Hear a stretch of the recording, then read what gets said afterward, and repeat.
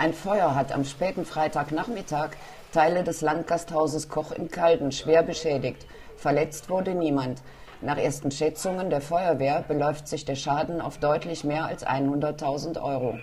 Das Feuer brach in einem Lagerraum der ehemaligen Sauna aus und griff auf den angrenzenden Gasthaussaal über. Durch den schnellen Einsatz mehrerer Wehren konnte der Brand zügig unter Kontrolle gebracht werden. Aufgrund der starken Rauchentwicklung mussten Atemschutzgeräte eingesetzt werden. Später wurde mit der Wärmebildkamera der Immenhäuser Wehr noch Glutnester entdeckt. Um 18 Uhr gab die Feuerwehr Entwarnung. Der weithin bekannte Kaltener Wursthimmel mit seinen 35 Tonnen Wurst- und Schinkenwaren blieb vom Feuer verschont. Somit ist der Schatz des Betriebes und das Lebenswerk von Firmeninhaber Thomas Koch gerettet.